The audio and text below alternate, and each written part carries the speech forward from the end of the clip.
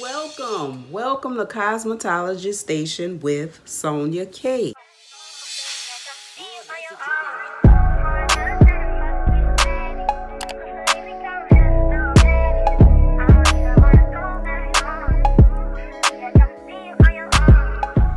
And today's topic is all about now I'm natural.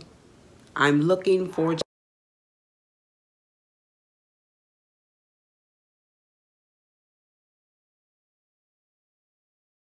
once you start wearing your natural hair, it's going to make you feel all types of ways. You know, you're going to feel like you need length. You're going to want to color it. You're going to want to do something to make you feel comfortable with your natural hair. A few suggestions that might can get you through where you don't go back to the relaxer, you don't go back to the weave. Continuously embrace who you are and be happy with it. Most of the time when people embrace their natural hair, they feel naked. Their hair is so short, or the weave with the length, they used to that perfect look. Braid, the best choice for length. But the key is to condition your mind to not be so hair vain.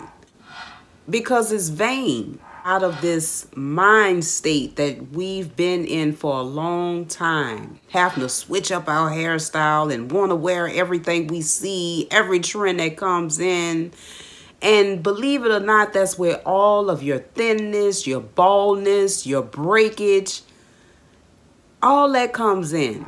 Your money is not being well spent because you use you're taking it and going to this trend for that trend because you're looking outside once again and trying to look like everybody else.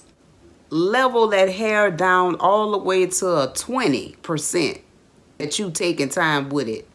Right now, people are at 110%. This is all they care about.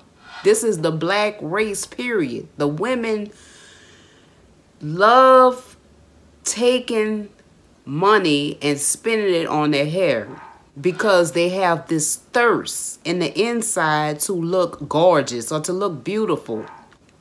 And really, you can wear something simple, simple with a beautiful smile and a nice attitude and be the, the most gorgeous woman in the room.